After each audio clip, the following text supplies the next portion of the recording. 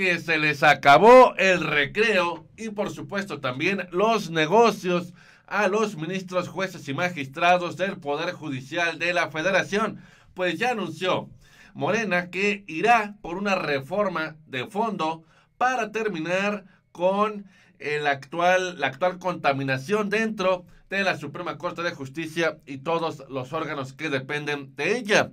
La oposición se está rasgando las vestiduras, se acusa que López Obrador quiere, eh, pues ahora sí que adueñarse del Poder Judicial para sí solo, pero se les olvida que hasta avalaron ellos mismos la reforma de cuando Cedillo corrió a todos los ministros en su gestión presidencial. Ya se les olvidó, muy fácil, pues claro. Entonces también vamos a platicar eh, por qué merecemos los mexicanos una reforma por completo al Poder Judicial, una sacudida como lo anunció el propio senador de Morena, que plantea eh, esta situación para este mismo año. Así que todo más aquí en el Defensor de la Verdad.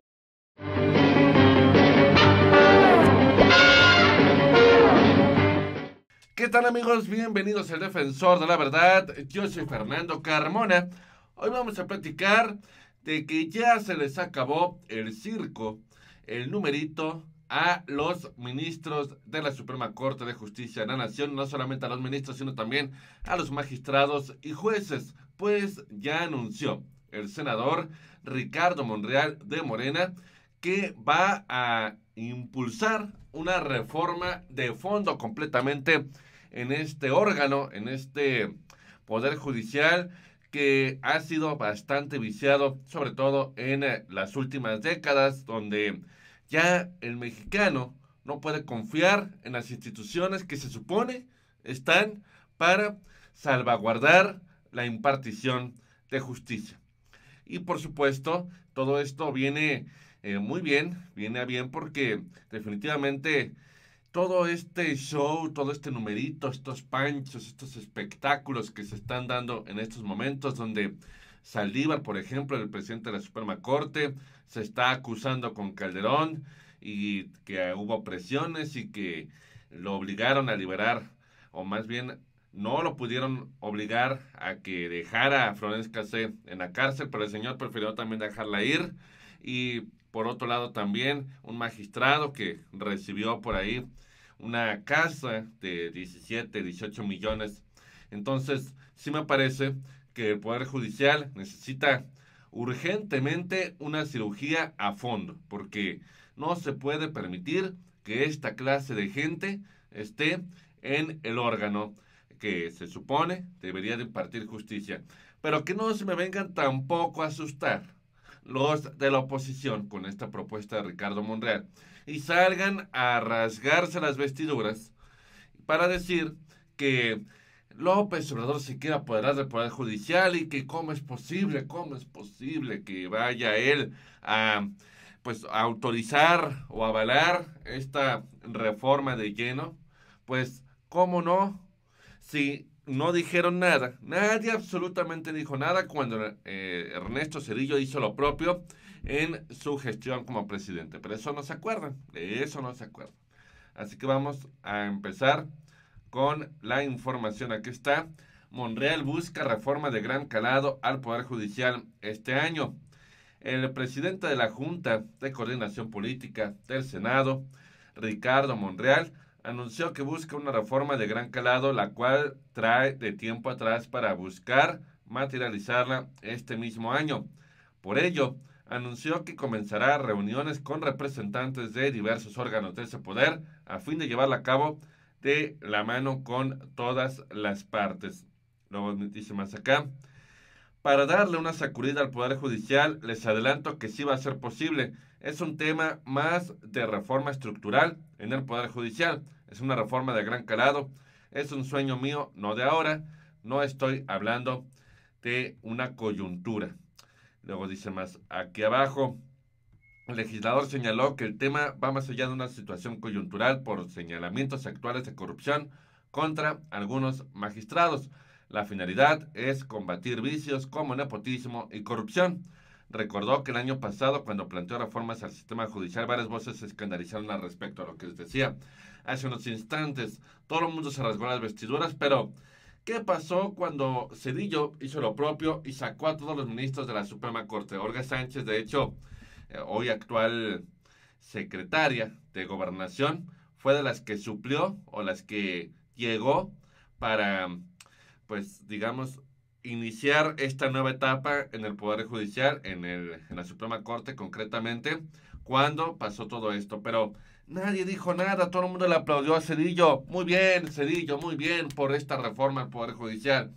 Y cuando sacó a todos los ministros, pero ahora como el presidente López Obrador y hay una cacería de brujas, hay una campaña desmedida para, pues obviamente, desacreditar todas sus decisiones, todas sus acciones, pues ahora sí les parece mal. Resulta ser que en aquel momento el presidente envió al Senado una propuesta de 18 candidatos para elegir a nuevos ministros y así renovar por completo a sus integrantes. Tampoco escuché o tampoco supe que en aquel momento dijeran, uh, es que esos ministros que está proponiendo Cedillo son afines a él. No, no, no, ¿cómo? Esos 18 le van a hacer el mandado a Cedillo. ¿Cómo es posible? Nos vamos a regalar las vestiduras, vamos a salir a las calles a manifestarnos en contra. ¿Cuándo hicieron eso? Jamás, al contrario. Si el PAN, que en aquel momento era cuando tenía la posibilidad de tener más representantes en el Congreso, si el PAN hubiera querido, no pasa esa reforma. Pero hoy, ¿qué pasa? Hoy simplemente se ponen sus moños y se ponen a satanizar todo esto. Dice, entre los principales cambios de la reforma del gobierno de Cedillo a la Suprema Corte se planteó que las propuestas del Ejecutivo para elegir a sus nuevos integrantes no fueran únicas, sino que enviara una terna que debiera ser aprobada por las dos terceras partes del Senado. Lo que les digo, el PAN ya tenía muchas posiciones bastante estratégicas en aquel, en aquel entonces, ya no era la barredora del PRI como en otras ocasiones, y si el PAN se hubiera propuesto, no hubiera pasado esa reforma. Pero hoy simplemente eh, ya no se acuerdan de esto. Dice más acá, eh, dice aquí, plantea que su estructura se conforma por el Pleno con 10 ministros y un ministro presidente, como tal eh, se está hoy en día con 11 ministros, porque llegaron a ser, me parece que, que 21. Entonces, imagínense ustedes los sueldos que se pagaban en aquel momento. Y bueno, se recortó el número de ministros y pues ya se hizo la corte como la conocemos hoy en día. Entonces, ¿por qué se tiene que realizar una reforma a fondo en el Poder Judicial? Porque se cae de mugre, como dicen por ahí. Se cae de tanta tranza, de tanta basura, de tanta porquería que eh, cargan a cuesta a los ministros, toda la cola que les pisen, no solamente los ministros, los jueces, los magistrados, todos en lo absoluto están contaminados. Y ah, bueno, aquí vemos, por ejemplo, cómo Sánchez Cordero dice que comparte las aseveraciones del ministro Saldívar contra Calderón, quien estuvo presionando al ministro que él mismo propuso por el tema de Florence Cassé, por ejemplo, que obviamente Calderón quería que se quedara en la cárcel y Saldívar fue y la puso en libertad. O sea, entre uno y otro no hacemos ninguno. Y también eh, no recuerdo, ah, sí, por el tema del aborto, Saldívar votó a favor del aborto y, Calderón quería que votara en contra y pues no, no se le concedió. Si se me voy a referir exactamente a la conferencia de prensa que dio el ministro Saldívar y le comparto en sus términos, la comparto en sus términos. Entonces ahí estuvo Olga Sánchez, que fue parte de esta nueva etapa en el Poder Judicial con la reforma de Cedillo. Aquí, por ejemplo, Calderón retó a Saldívar a demostrar la valentía que invoca. Es decir, prácticamente lo está llamando a que debatan o a que presente pruebas de que lo estuvo presionando. No dudo que Calderón lo haya presionado, de hecho estoy seguro que lo presionó, pero tampoco que Saldívar venga a darse baños de eh, pureza y demás, porque tampoco crean que es una paloma blanca que cruza por los cielos. Y bueno, para todos los que están diciendo que, no, que esto es un acto que es dictatorial y todo lo demás, hay que recordar lo último que está pasando este magistrado, que fue suspendido por comprar una mansión de contado en 17 millones de pesos y que por cierto también encubrió a su hijo por ultrajar a una menor. Y también, pues, esta clase de sujetos son los que están impartiendo la justicia en nuestro país. Por ejemplo, ¿dónde quedó aquel cargamento de 23 toneladas de coca, de perico, que el señor Medina Mora, que hoy ya por fin renunció, pues era procurador y quién sabe qué habrá hecho con ese, con ese perico. Entonces, esta clase de sujetos eh, son los encargados de impartir justicia y no puede ser, no puede ser. Hay que buscar la manera de limpiar al Poder Judicial de todo este, pues San Quintín, toda esta argüende de corrupción que se traen y es necesario, ¿no? No puede ser que México tenga el 99% de impunidad. Es decir, que prácticamente de casi todos los delitos que se cometen en el país, pues el 1% es castigado. ¿De qué estamos hablando? ¿No? Pues esto es lo que se plantea. Ojalá que llegue de verdad muy pronto esta reforma que urge, urge por más que se rasguen las vestiduras, por más que todo.